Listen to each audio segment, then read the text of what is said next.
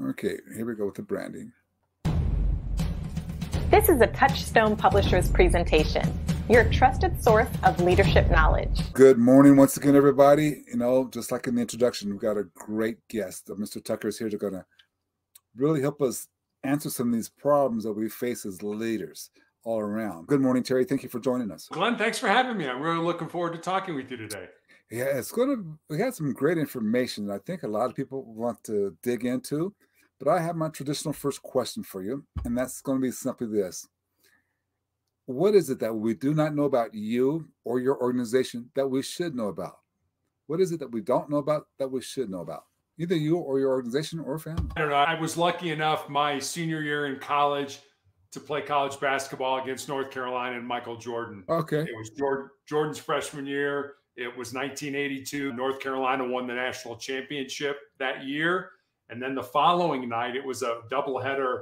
We got to play against Jim Valvano, a North Carolina State's team, who the following year in 1983, they won the national championship. So I was fortunate enough to play against two national championship teams during my senior year in college. So that's something that most people don't know about me. And I find that interesting. And that's actually, in hindsight, what did you notice about the coaching from a leadership business perspective, the head coaches on both sides? I mean, yeah, I played for a man by the name of Les Robinson. And uh, as far as I know, this is still true. Les Robinson is the only individual who was a division one basketball coach and an athletic director at three different schools. So he wow. was he was the coach and athletic director at the Citadel where I played, the coach and athletic director at East Tennessee State University. Mm-hmm. And eventually, when Jim Valvano got into a little bit of trouble at North Carolina State, Les took over as the as the basketball coach at NC State and also was the athletic director. So as far as I know, he's the only person who's ever who's ever done that. And just a super guy, a guy who cared about his players, cared about yeah. the fact that it was more than just basketball. I think he was one of those individuals that cared more about what we did outside of basketball and after basketball than really the four years that we spent with him. And still, uh, still an active individual, still involved. Goes to all the Citadel basketball games down in Charleston. On the other side of the coin, with Dean Smith, Dean Smith was known for his what was called four corners offense. Yeah. I'm going to date myself a little bit here, but when I played college basketball, there was no three point no line. yeah. yeah. And there was no shot clock.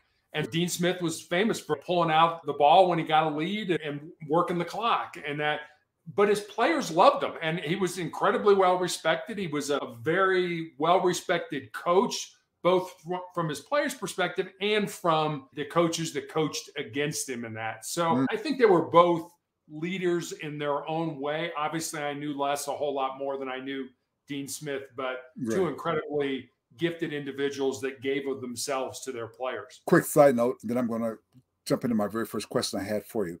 But have you noticed how even these coaches who are successful have gotten this emotional intelligence thing down pretty much? I mean, even some of the not so successful ones, they have a way of tapping certain parts of emotional intelligence that really help them motivate me to the trips. Have you noticed that? I really have. I was lucky enough to be recruited by Mike Krzyzewski, Coach yeah. K, yeah. when he was in Army. And he yeah. actually came to my house and sat on our couch and said, Hey, come play for me at West Point. And I, would had three knee surgeries. And I just wasn't sure my knee was up to the military side of that. So I turned him down. But a funny story 20 years later or so, I was living in Cincinnati. I was a policeman. I was working nights and North or uh, Duke was playing Connecticut for the national championship. So I recorded it because I was working that night. And the next night I went down and our daughter was, I don't know, three maybe, and watched the game. And Duke lost to Connecticut. And at the end, there's an embrace, a hug between William Avery and Coach K. And for the next two weeks after that, my daughter would say every night after dinner, "Hey, Dad, let's go watch the let's go watch the hug." And I was like, "The hug? What are you talking about?" Uh, you know, it wasn't, yeah. it wasn't the game that motivated her or that she resonated with. It was the hug between Coach K and Avery. So I sat down and I wrote Coach, Coach K a note. I said, Hey, you probably don't remember me. It's been 20 years, but here's an experience that happened with my daughter. And I got a letter back from a handwritten letter back from him about two weeks later, basically saying, Thanks for telling me this. Thanks for sharing it. I get close to my players. It was a tough loss for us and stuff like that. That's class. That's he didn't have to do that. No. I didn't even go play for him. I, I said no to him, but that's what class looks like. That's what somebody who's emotionally intelligent progresses or, or looks like. It's reaching out, it's developing relationships with people that you don't need to, but you want to. You have that emotional intelligence and you want to have that connection even with a player that ended up not playing for you. See, that's a powerful story. That's a powerful story. And the connection that you and your daughter put together from that's powerful, and the connection that Coach K came back with it on.